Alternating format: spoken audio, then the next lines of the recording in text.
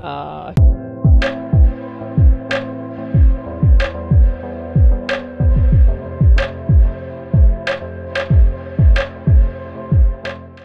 check this out. Look, look at where we are.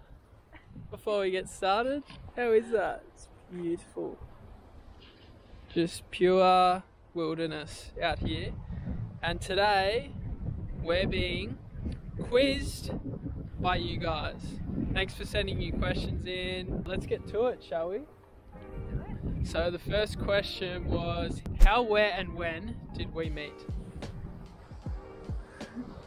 Well, we met in 2017 and he actually lived just around the corner from me. I moved uh, down the coast to Ocean Grove because I heard there was a beautiful girl down here. so we, my friend and I set up a little dinner at our place to get Cam to come over. Um, he just got back from Norway and the first thing we talked about was his epic photos. Thank you, Northern Lights, for giving me something to show Elise.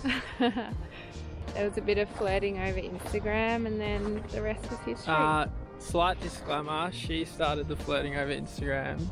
She, as as the young crew out there call it, slid into my DMs.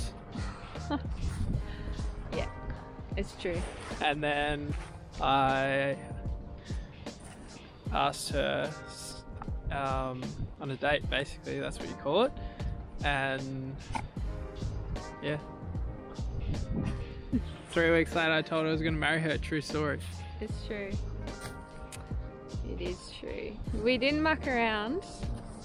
Got married six months after we got engaged and then started a business together six months after that. Next question, where did the name Zorali come from?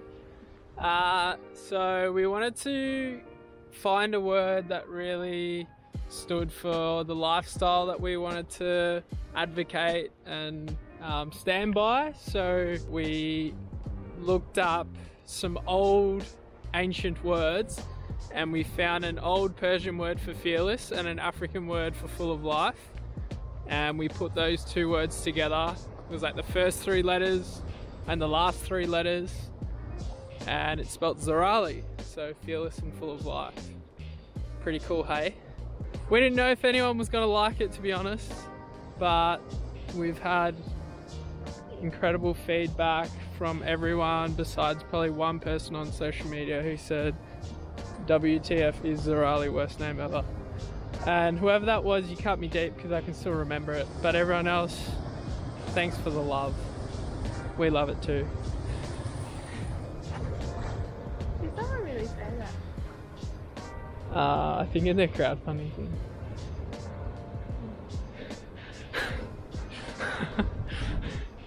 what was the inspiration behind Zorali? This! Look at it. Seriously though, pretty much like this we were just really inspired by, I guess, the peace and just goodness that we find out here in nature.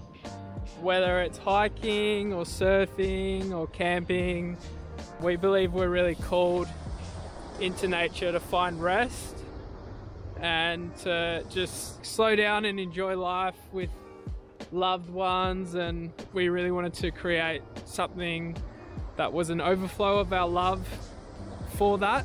A love for just getting outside and having fun with friends and we believe that time spent in nature is really the pathway to a happy and healthy life and it really just started from there. That's where our dreams for Zorali began and that's what's really informed everything that we live and breathe as a brand today. So the next question oh nearly took a tumble uh, is any tips? Oh! I need tips on how to walk, obviously, but uh, is there any tips for first time campers, believe? Yes. I definitely would say keep it simple for your first time. Don't feel like you have to go out there and conquer a mountain or do anything extreme, but just some good old car camping, find somewhere close by, caravan park or even a free national park. There's heaps of apps and websites out there that can tell you where to go.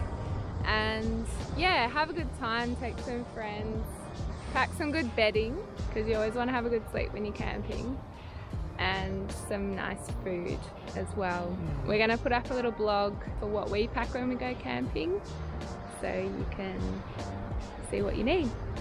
Oh, and one more thing, make sure you check the weather before you set out on your camp trip. Make sure you're going to be safe and have the right gear.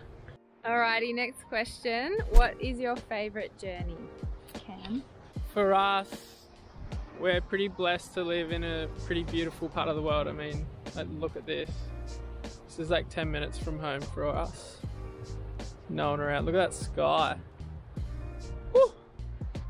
And yeah, we love just hitting the road, heading down the Great Ocean Road, which is just down the road.